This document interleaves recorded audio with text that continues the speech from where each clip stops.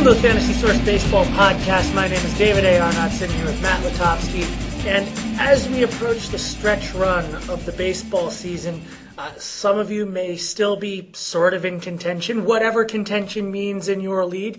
And some of you, eh, you may be wondering if you're in contention. And in fact, some of you, you may be trying to run away from the rest of the lead and keep everyone behind you. And so that's what we're going to be talking about today.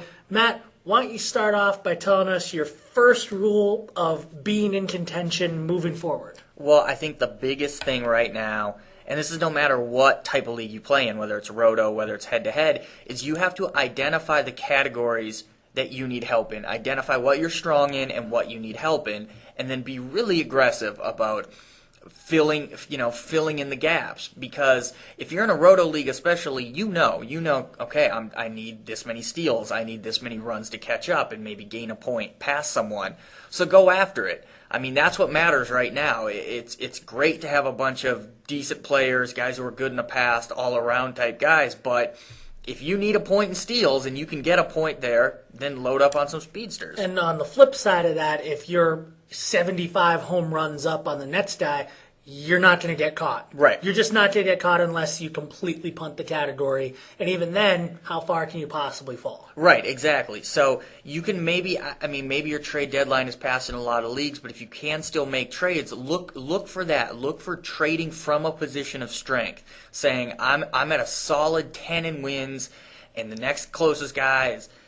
10 behind me, I'm okay. Maybe I can trade a pitcher who gets a lot of wins to beef up you know, uh, my offense where I need someone and, and, things like that because all that matters now is the next six weeks and, and filling in, in the gaps in between the next six weeks. Right. I mean, it, we talked about it's that what have you done for me lately that matters while the uh, that matters more now than any other time during the year. Yes, the previous rest of the season matters. What a guy has done over the rest of his career uh, previously matters.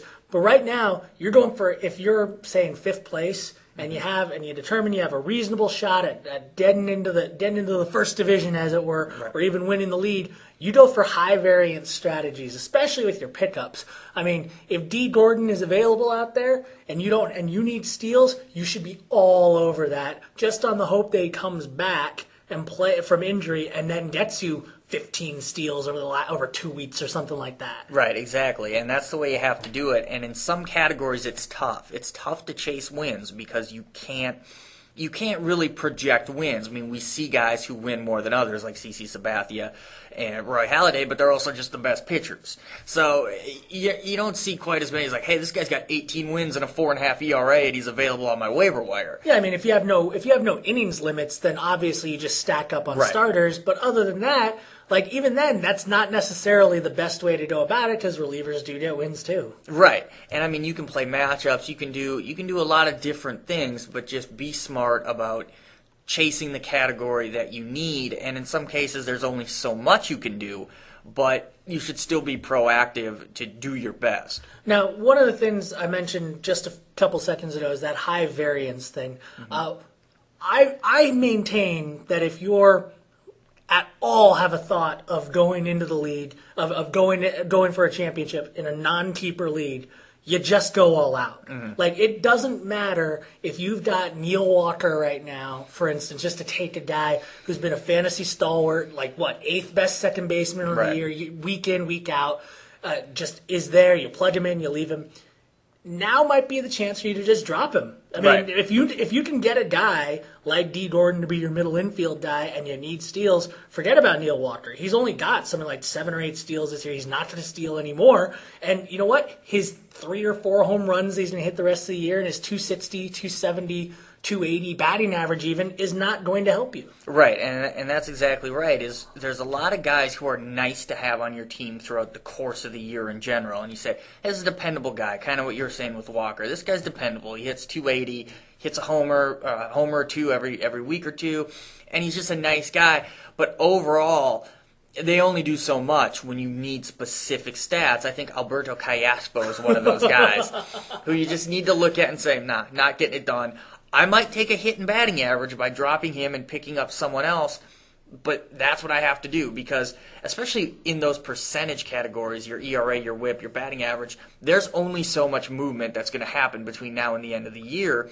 So, you know, you can play around with those a little more and just go after those counting stats, get strikeouts, get RBIs, get whatever, or, or at least go for them. Now, not to turn this too much into mismanners, mm-hmm. but what advice do you give to the people that are pretty much out of it at this point? I Well- mean, I mean, at this stage, you might not necessarily be out of it, even if you're in last place in your 12 place lead in your Right. 12 point uh, team lead.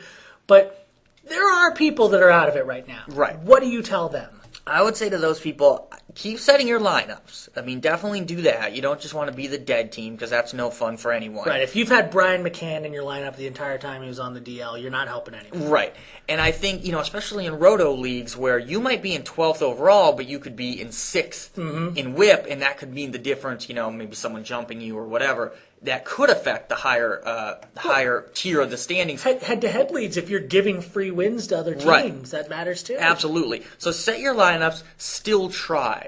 But you know, you don't probably don't need to be as aggressive. There is a certain point where you, you you to a certain extent step aside and say, "All right, I'm not going to, you know, do this or do that."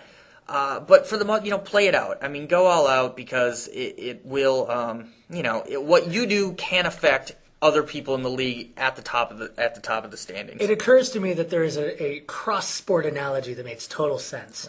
When you're in 40th place in a NASCAR race Mm-hmm. and it's 10 laps to go, you keep playing in case there's a major pileup Right. up front, you keep driving, but you move aside when the leaders start to lap you. Right. You don't. Yeah. You don't. You don't. You don't get aggressive and start doing hair. You're not trading paint. Right. I mean, we had someone in a league I'm in. He's made five roster moves all year. All year. But he, yes, and he one of his roster moves was recently used his waiver claim on Jose Altuve. And it's like, what are you doing? You don't. You're 12th place. You clearly don't care about the league. Why are you doing that?